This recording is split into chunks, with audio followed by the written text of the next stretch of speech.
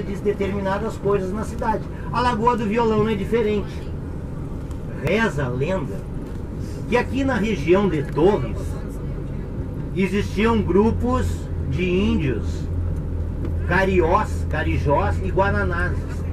Índios ditos antropofágicos, não canibais, mas antropofágicos, ou seja, se eles tivessem um bom motivo, que não a fome, eles poderiam comer outros indivíduos. Essa passarela aqui à frente de nós é a passarela Jaime Pose. Jaime Pose foi o segundo proprietário do Hotel Farol, a família Pose, que se mantém até hoje à frente do Farol, né? Em homenagem ao seu Jaime, aqui, esta passarela. O primeiro empreendimento turístico foi criado por José Antônio Picoral, o Balneário Picoral. O segundo foi o Farol Hotel, o Balneário Farol, feito por Alfiero Zanatti.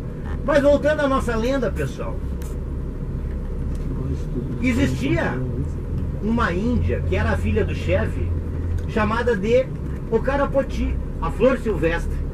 Ocarapoti, por ser a filha do chefe, ela tinha a possibilidade de fazer coisas que as outras índias não podiam.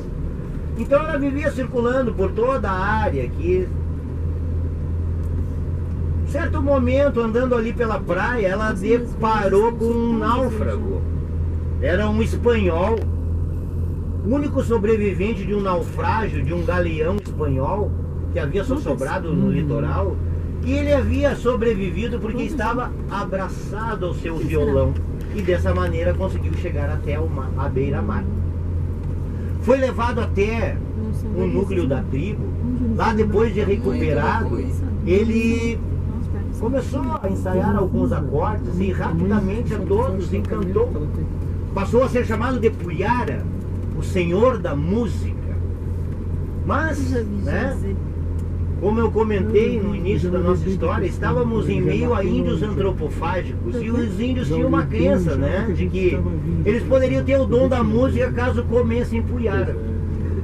E o Puyara morreu, virou a janta, o banquete dos aborígenes. De tanta cantada, né? Foi isso. É, eu acho que os índios tinham a crença que iam formar várias duplas sertanejas, né? O arco e o fle- a flecha, né? O pelado e o com pena, algo coisa assim.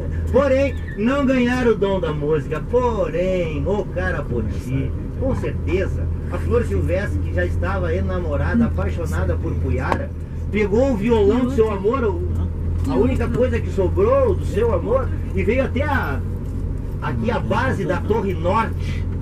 E abraçada ao violão de Puyara, a coitadinha chorou.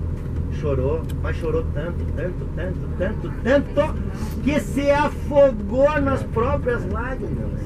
E as lágrimas não eram poucas, pessoal. Tanto é que, além de afogar a coitadinha, formou um lago em formato de violão.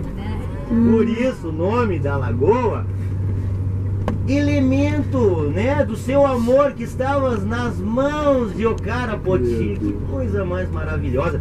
Dizem até hoje que os aguapés, né, os camalotes que tem uma flor roxa, é um símbolo de luto de Ocarapoti. E o coachar dos sapos dessa lagoa é um eterno chorar né, da perda do Puyara.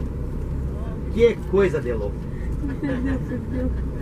Pessoal, essas estaquinhas aqui, ó, no final, elas servem para acomodar os aguapés. A gente tem um trabalho de monitoramento em que utiliza os aguapés para fazer uma espécie de filtragem da lagoa.